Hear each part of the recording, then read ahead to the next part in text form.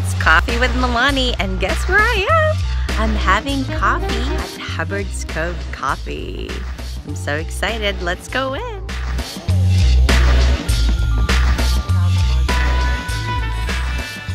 have not just coffee, they have teas too. So if you're not a coffee drinker, there's also tea. Wow. Hello.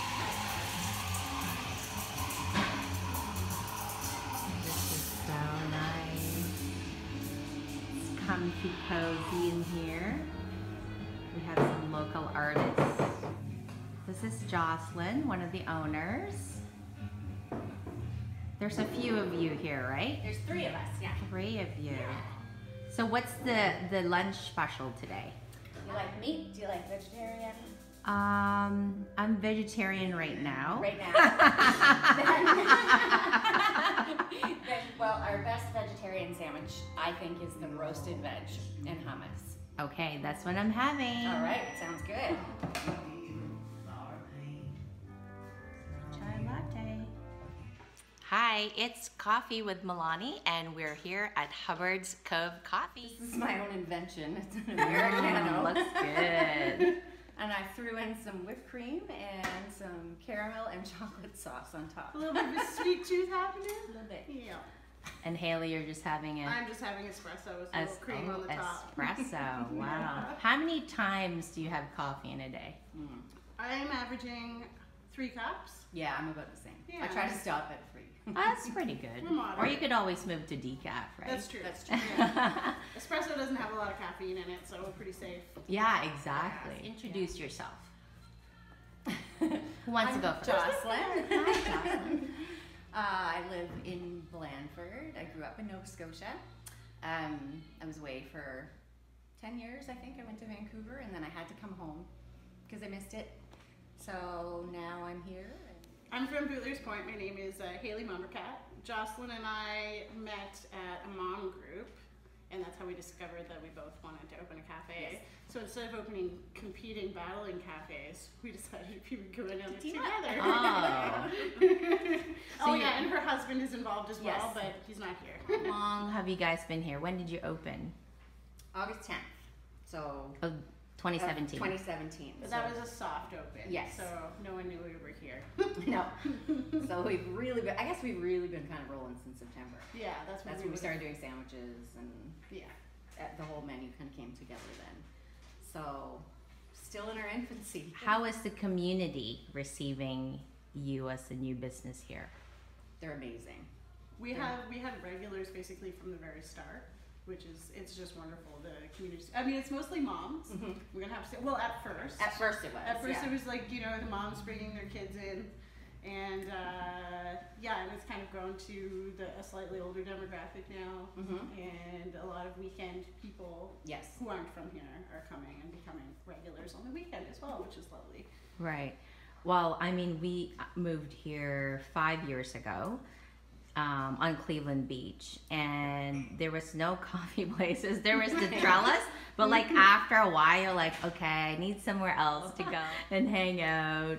Isn't that So- crazy uh, storm of what was it, 2014? Mhm. I was like trudging through the snow with my infant strapped to me in a carrier God love and you. being like, we really need something else other than the library. yeah. Bye, Thank you so much. young entrepreneurs Right, wanting to right. open. So, I mean, if I'm a mom and you know I want to open up a shop, do what are the steps that I need to do?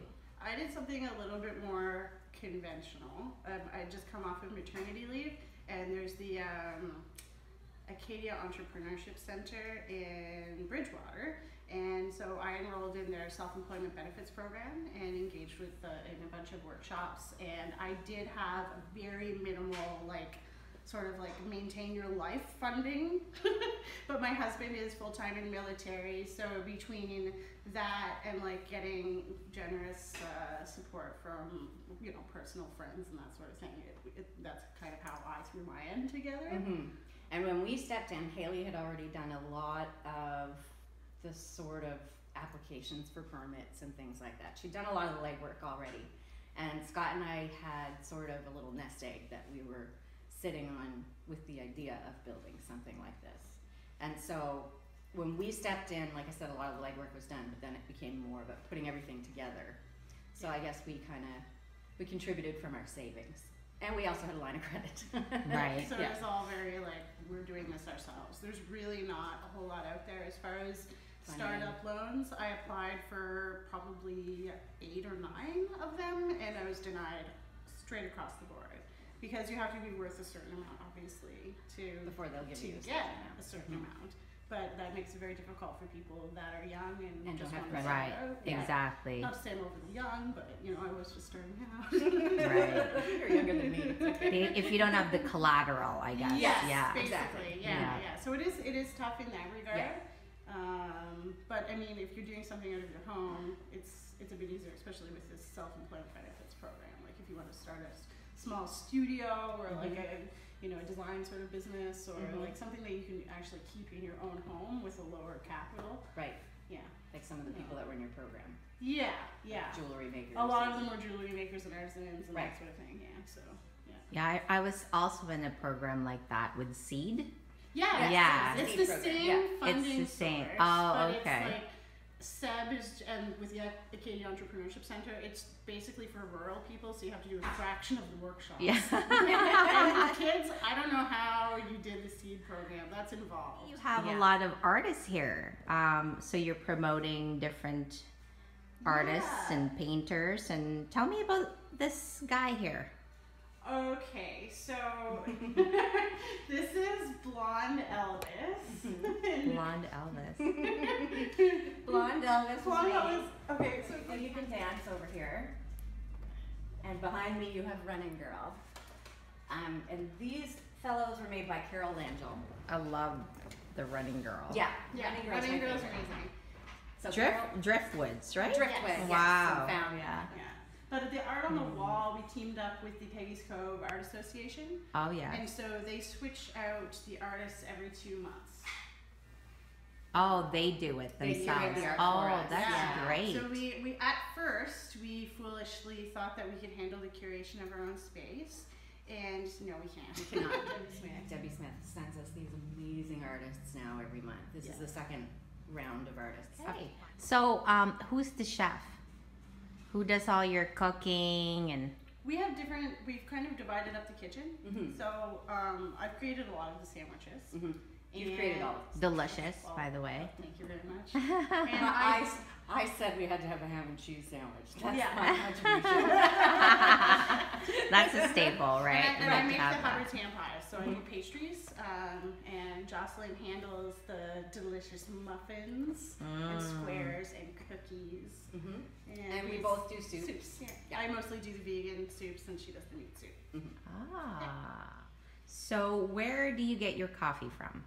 So it's North Mountain Fine Coffee, and they are located in, on North Mountain in the Annapolis Valley, but they have a small uh, cafe in Berwick as well. Um, and they've kind of been taking over. I find like Mhm, they're uh, everywhere now. Yeah, when That's we great. when we got North Mountain, it was only in the barn Mhm. in Mahone Bay, Right. and there's some in Halifax, but now there's a few more picking up on the South Shore that's also carrying it. I really like that company because they are small batch. They use antique roasters. The people that run it are amazing. cool. Yeah, and uh, yeah, and it's all completely local, and it's not certified fair trade, but it's fairly traded. So yeah, you can. All so, where are the beans coming from? di- various uh, farms um, all over where you would expect to get coffee beans, but as opposed to having that like fair trade stamp, they deal with individual farms. Oh, which is great. Yeah. This is Yeah. really fair. Yeah, Yeah. exactly. Well, There's the no same- third the party. Sort of, no, there's no. Yeah. Yeah. it's the same sort of thing. Mhm. So yeah, you can feel good about drinking it. Yes. And uh, he seems to be Austin is his name. He seems to be on the beat of like the what is kind of up and coming. Yeah. In, you know, He's a, little, a step ahead. He He worked is for a Just Us for A how many long years? time. Very long time. Yeah, over ten years. Over 10 years and now. So he really knows his stuff. Wow. Yeah. There was Just Us is also another favorite. I would have considered carrying them as Mhm. well. Yeah. And do you carry kombucha? We do. We carry Solas kombucha from New Ross. They actually got really busy earlier on, so I started the questions later and I ran out of time, so I had to go. So thank you, ladies, so much.